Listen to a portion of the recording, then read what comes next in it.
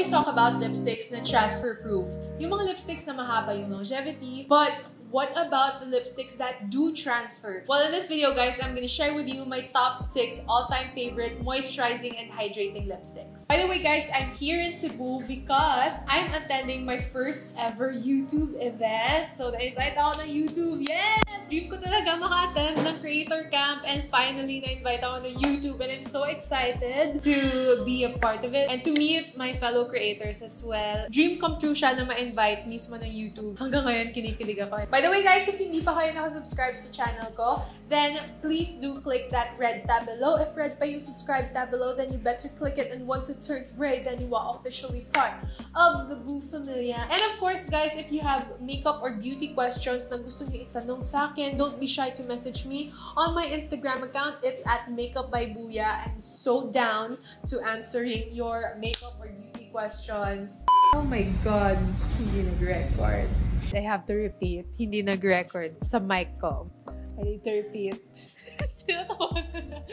I hate myself. Anyway, this is the first lipstick na gusto kong gusto ko i-share sa inyo guys kasi eto yung lipstick na whenever I wear this, I get a lot of compliments. Obviously, alam nyo na kung ano to. This is the Fluff Matte, but this is in the shade Baby Spice. So, this is from their Nudish collection. Actually, dalawa sa Nudish collection. Yung sobrang favorite ko, yung Baby Spice and On Repeat. So, Baby Spice is a cool blush nude. If kasing kulay tayo or lighter ka, mag-work sa inyo yung Baby Spice. Pero if yung pagka-morena mo mas deeper, then I suggest the shade on repeat. Tip lang, if hindi nag-work sa inyo yung nudist, meaning hindi din, or most likely hindi din mag-work sa inyo yung shade na Baby Spice. So yung Fluff Mattes, eto, nagta-transfer talaga. Hindi nag-claim yung Sunny's Face na transfer-proof yung product na to. Yung sabi lang nila is silky yung formulation niya and very comfortable on the lips and it will give you the soft matte effect on the lips which I really really like. That's why ito yung ginagamit ko for my everyday lippy because I really love the feel on the lips when I apply it. It's napaka-satisfying. Hindi lang ako nakaka-feel nito. I'm pretty sure yung mga fluff matte fans out there then uh, know what I'm talking about. Nagto-transfer talaga to ng big time. And again, kapag a product or lip product transfers a lot, then that means yung longevity niya not that long. Now, the next product that I'm gonna share with you guys is again from Sunny's Face. So, eto yung lip dip nila. So, this is in the shade Peachy Kinda.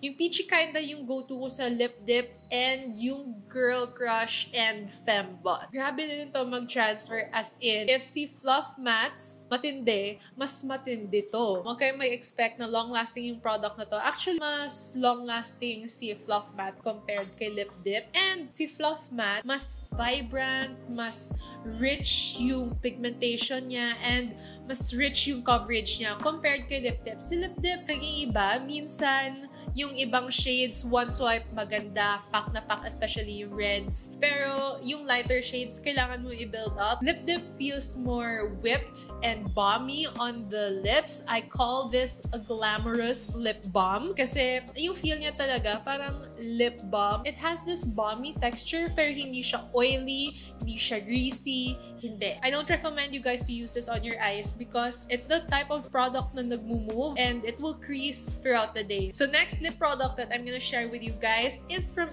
EB Advance. I think y'all know what this is already. Ito yung EB Advance Lip Defined Mathematics. So this is in the shade Exposed Nude. Actually, dalawa yung shades na favorite ko sa Lip Defined Mathematics. Yung Exposed Nude and yung Raw Burgundy. And bet na bet ko pag kinakombine yung dalawang yun because it just gives this like perfect sculpted lips. I really, really love it. If hindi pa kayo nakatry nito, bakit? This is so affordable and minsan nagsasale pa for only 99 pesos or less. Guys, this it's so affordable yet the look on the lips is so luxurious for some reason. I don't get it. So this is such a good matte lipstick. It's a matte lipstick, but it's not totally matte. Mention diffused reflection of the light, which I like about it because it makes my lips look healthy and plump. So the next product naman, medyo may pagkamahala naman siya because this is from Happy Skin. So, ito yung Generation Happy Skin My Lips But Better Ultra Matte Lippy. Medyo may pagkamahalan siya for this product, but the formula of this lip product is so good na I can look past it. Napaka-creamy niya and when you when you apply it on your lips, it just feels so good. Actually nga, di ko gets bakit sinabi nila na ultra matte lippy siya because whenever I see the words ultra matte, nasa isip ko agad is long-lasting, transfer-proof, and it's the kind of lippy na will parch out your lips kasi napaka-matte niya. As in, yung matte na matte, as in flat matte talaga. But eto, it's the opposite of that. Hindi siya transfer-proof, hindi din siya long-lasting, and hindi siya yung flat matte. This one, it medyo may glow pa siya to it. Kahit matte siya, it has that glow to it. Just like yung EB Advanced na Lip Define Matte Matic. Pag nailawan, medyo meron siyang diffused shine. By the way, yung claims ng Happy Skin sa My Lips But Better nila ay meron itong sunflower seed oil. So, compared sa previous three products na mention ko, ito lang yung my skincare claim or my, my skin benefits na claim. It has sunflower seed oil so it will moisturize your lips throughout the day. So, wag kayong mag-worry na kahit matte siya or ultra matte, wag kayong mag-worry kasi hindi niya ipaparch out yung lips ninyo. It will even nourish it and it will keep your lips healthy throughout the day. Next product is another product from Happy Skin. So, ito yung best seller nila na Shut Up and Kiss Me Moisturizing Matte Lippy. So, this is in the shade Happy Hour. Compared sa My Lips But Better nila na Ultra Matte Lippy, this is more matte compared sa My Lips But Better nila. Dapat nga, ito yung moisturizing lippy. Kasi ito, mas moisturizing siya compared dito, I would say. Because yung My Lips But Better feels a lot creamier compared kay Shut Up and Kiss Me. This one, medyo dry version siya ng My Lips But Better. But still good. I, I feel like mas perfect yung formulation niya. Kasi perfect balance lang siya ng hindi siya ganun ka-creamy na mabilis maputol or hindi siya ganun ka-stiff na matatakot ka na mapuputol rin kasi kailangan mong i-DN sa lips. So, yung claim naman ng Happy Skin, this product has hyaluronic acid and it also has kupuwasu butter. So, um, yung hyaluronic acid is very beneficial for the skin and of course for your lips. One of the benefits ng hyaluronic acid is it's a magnet for moisture and it will make your lips plump. So, and then yung kupuwasu butter naman, it will prevent your lips naman from getting chapped. It's a little bit expensive, but if you want to invest on a good lip product, yung lip product na will make your lips look good and healthy at the same time, makeup siya and skincare product at the same time, then I suggest this lipstick. But if you feel like it's a little bit expensive, way off your budget, then you can pass on this product. Last but not the least, from the new makeup brand here in the Philippines, this is the multi-use crayon from Issy and Co. So this is in the shade Rosewood. So I'm wearing the shade Rosewood right now. So yung multi-use crayon, yung isa sa pang